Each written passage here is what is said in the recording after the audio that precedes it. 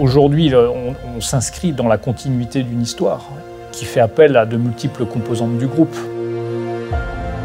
La force des Fajrail, c'est son savoir-faire, c'est son expérience.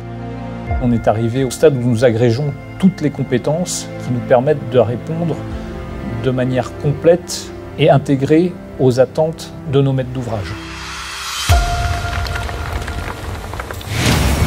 Une clé de la performance, c'est quand même la modernisation du parc et la capacité d'investir dans du matériel neuf. On voit vraiment la volonté du groupe Eiffage de prendre sa place euh, dans les acteurs du ferroviaire avec des moyens euh, sans commune mesure avec ce qui se passe à côté. La suite rapide, c'est la prouesse technologique d'arriver à déployer des outils aussi précis et aussi imposants en aussi peu de temps, en régénérant pratiquement 1000 mètres par nuit. Rajouter à cela toutes les contraintes d'un chantier où on a plus de 300 personnes, qui s'étalent sur 10 km et où chaque corps de métier doit être totalement en symbiose avec l'autre. C'est comme écrire un scénario. Euh, on a très peu de temps pour intervenir, donc c'est des opérations qui doivent être millimétrées. C'est minimum un, an, un an et demi, 18 mois de, préparation. L'expérience est fondamentale dans notre métier.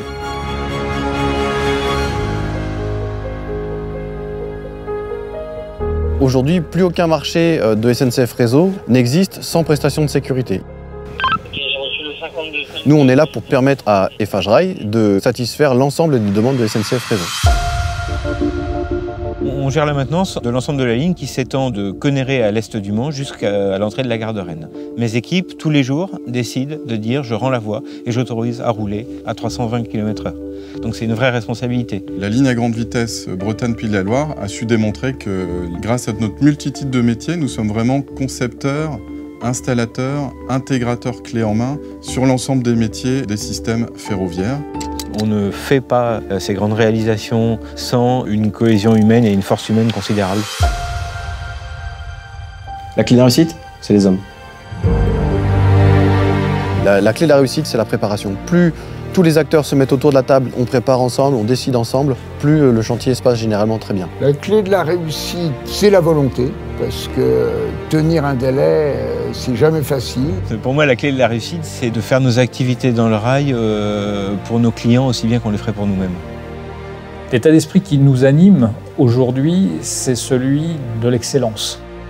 On a réalisé 100% du programme dans les délais, que tout s'est bien passé c'est toujours ressenti euh, comme une victoire. On est fiers de montrer ça à nos enfants. Oui. C'est une vraie passion. Je ne vais pas vous parler de mon train électrique. Mais...